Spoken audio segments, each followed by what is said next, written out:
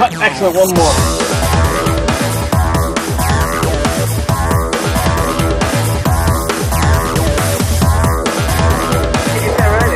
B35 Baker Ready.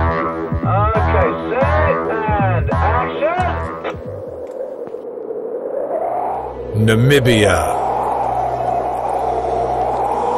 A land exquisite, a land unique. Any filmmaker's dream. Locations never seen before. Don't write the action, the romance, the drama. It rises from the land. 20th Century Fox's Flight of the Phoenix has just wrapped in Namibia. People travel from all over the world to be here. This is an, absolutely spectacular place to be, one of the most spectacular places in the world. It's, it's a wonder of the world. We started to look at a lot of places. Very few places sort of afford you with you know, the sand dunes and 360 degrees. We wanted to set the set in a place where you really, if you looked all around you, you would see absolutely nothing of civilization. We're, you know, 10 minutes from a town that can support the kind of production this is. So it sort of ser- it served on both purposes, both from production and aesthetically. Namibia, as a country, offers a huge variety of sublime locations and landscapes, which will hopefully awe the audience into a kind of a wow moment of being like, where is that? I've never seen anywhere like that before.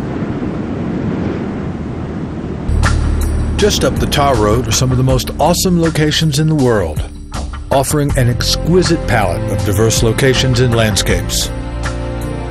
Not just desert, but the second largest canyon in the world and mountains, birds, wildlife, a massive variety of animals, both wild and trained for film.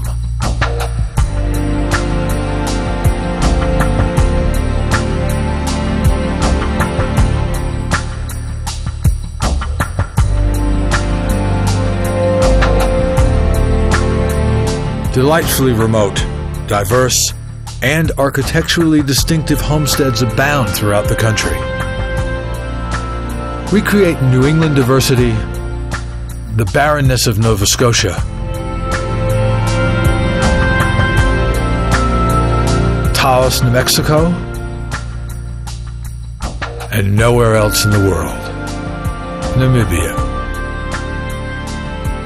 These eerie ghost town sets are unreplicated anywhere. Quality, individual architectural relics are easily accessible and film friendly.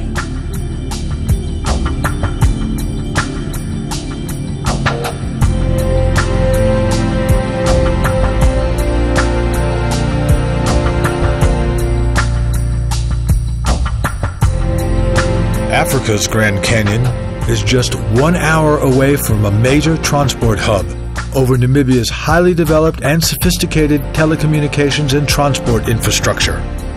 It's accessible by superb road and rail networks.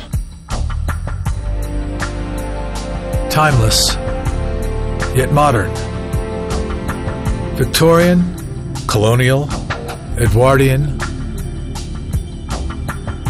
urban, yet rural. All of these locations are there to serve your creative vision.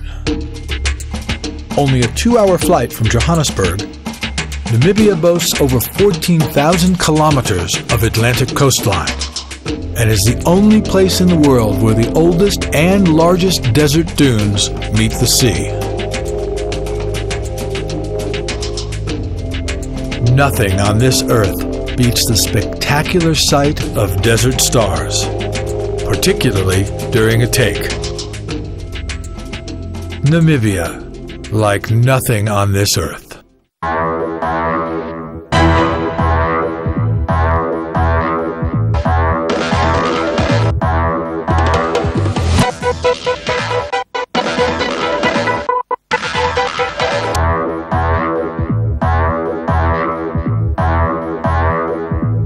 10.